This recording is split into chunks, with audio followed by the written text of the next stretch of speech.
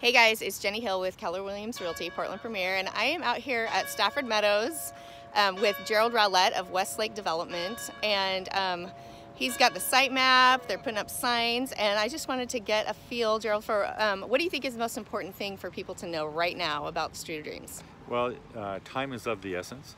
We've got a project here that's starting, so um, when we're looking across these lots, there's a great opportunity to be one of the first in next year's Street of Dreams with lot selection and what we're doing out here. We've, it's an exciting project and it's going to be gorgeous. It's Wilsonville. You can't beat it.